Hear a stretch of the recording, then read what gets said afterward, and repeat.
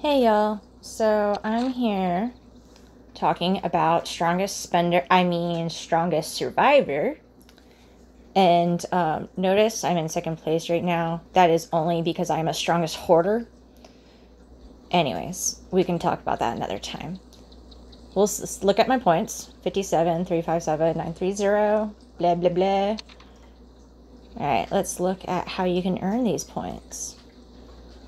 Um, I'll give you guys a little trick right now. Most of my points were legitimately through just upgrading survivors because I didn't upgrade them for like a month and saved everything. Which kind of sucked for like power and not being able to, you know, do as much, but it's fun for this. Um, all right, training speed ups are on there. Back to this. Now I'm going to go use them. Right? Use 805.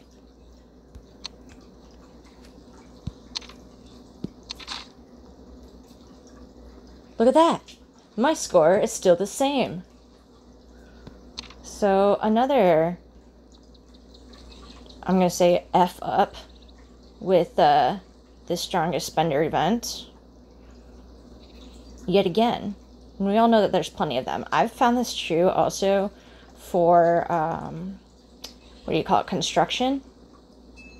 Let me see here. All right.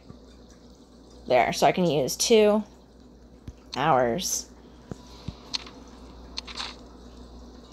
Yeah, now you work. Mm-hmm. It didn't work on like, you know, the 14 hours or whatever that I used earlier, but it works with, okay, cool, thanks, now that I'm on camera. What an asshole. Alright. Bye, guys.